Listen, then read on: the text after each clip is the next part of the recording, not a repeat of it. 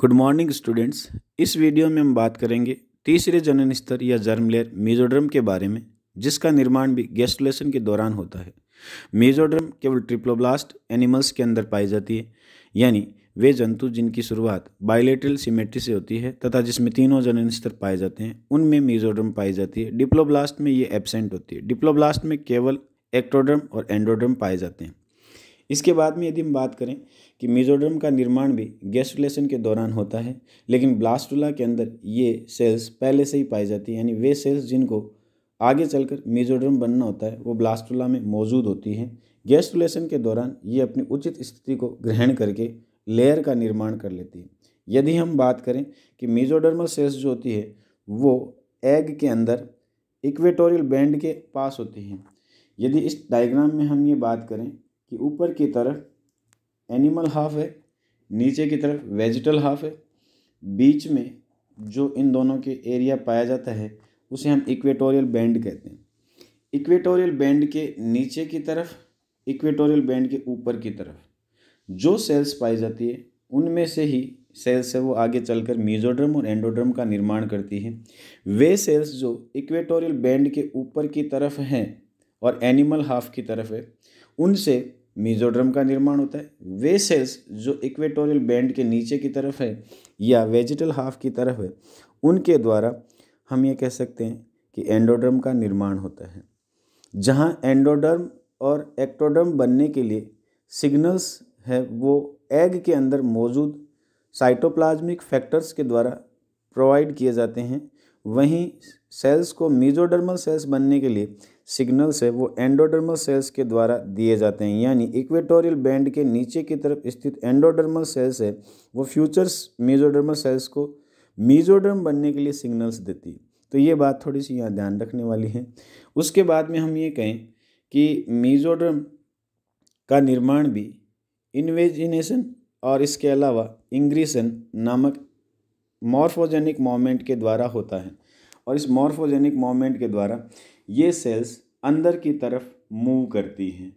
उसके बाद में यदि हम बात करें कि मेजोडर्म के क्या फ़ंक्शन हो सकते हैं तो हम कह सकते हैं कि बहुत सारे ऑर्गन्स या ऑर्गन सिस्टम का निर्माण मेजोडर्म के द्वारा होता है। जैसे हम कहें कि सर्कुलेटरी सिस्टम मस्कुलर सिस्टम, इसके अलावा excretory system, reproductive system, lymphatic systems, ये सिस्टम सारे के सारे मेजोड्रम से बनते हैं। इसके अलावा शरीर के अंदर पाया जाने वाला संयोजी उत्तक जो शरीर में सबसे ज़्यादा मात्रा में पाया जाता है, उसके अंदर भी हम कह सकते हैं कि मीजोड्रम का रोल होता है या उसका निर्माण भी मीजोड्रम के द्वारा होता है। इसके अलावा स्किन की जो डर्मिस होती है, उस डर्मिस का निर्माण मीजोड्रम के द्वारा होता है। सिलोंग की लाइनिंग का निर्माण हम कह सकते हैं कि मीजोड्रम के द्वारा होता है। एड्रिनल कॉर्टेक्स, जो एड्रिनल ग्रंथि का पैरिफल रीजन होता है उसका निर्माण मीजोड्रम के द्वारा होता है।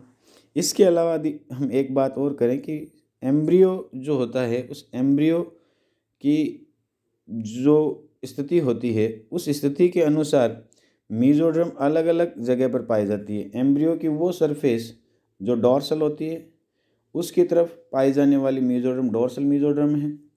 इसके अलावा एम्ब्रियो की वे सरफेस जो वेंट्रल होती है, उसकी तरफ़ पाई जाने वाली मीजोड्रम वेंट्रल मीजोड्रम है।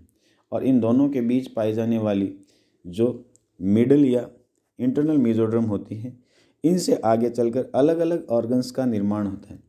जो मीजोड्रम एम्ब्रियो की डॉर्सल सरफेस की तरफ़ होती है उसके द्वारा आगे चलकर नोटोकोड का निर्माण होता है और ये नोटोकोड एम्ब्रियो को सपोर्ट देती है, साथ ही एक एंकर की भांति या सहारे की भांति कार्य करती है, जिसके इर्द गिर्द वर्टिब्री का निर्माण होता है। यही वर्टिब्री आगे चलकर वर्टिबल कॉलम का निर्माण करती है।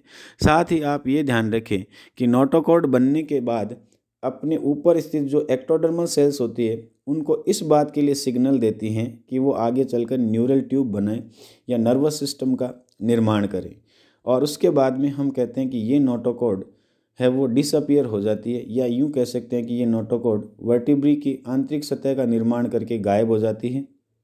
उसके बाद में वह मीजोड्रम जो वेंट्रल सरफेस की तरफ़ पाई जाती है उसके द्वारा सर्कुलेटरी सिस्टम्स की ब्लड वेसल्स और किडनी का निर्माण किया जाता है, जबकि वह मीजोड्रम जो बीचों बीच स्थित होती है, उसके द्वारा हम कह सकते हैं कि हार्ट व मस्कुलर सिस्टम का निर्माण किया जाता है।